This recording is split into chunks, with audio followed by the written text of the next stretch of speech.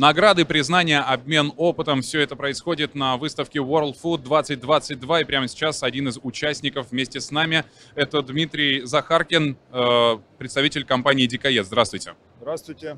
Э, пожалуйста, расскажите о своей компании, как давно вы присутствуете на рынке, и э, потом мы перейдем к линейке подробно.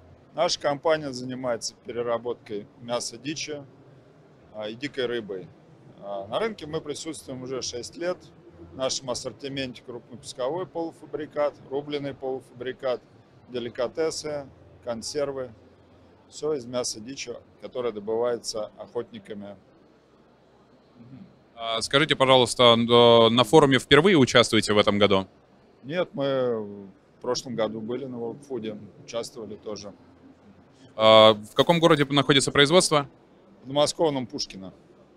А, скажите тогда, вот сегодня форум еще не закончился, еще будет там несколько дней. А есть ли какие-то промежуточные итоги или результаты встречи?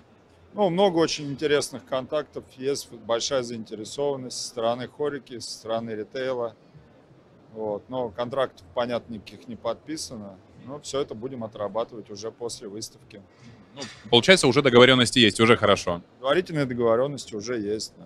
А в планах компании есть, э, возможно, какое-то расширение линейки вашей продукции?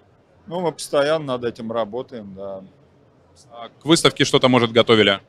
К выставке специально ничего нового не приготовили.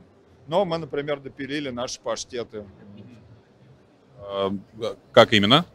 Ну, то есть э, рецептуру от, отполировали, да, упаковку доделали. Вот, теперь они полностью готовы к поставке в торговые сети.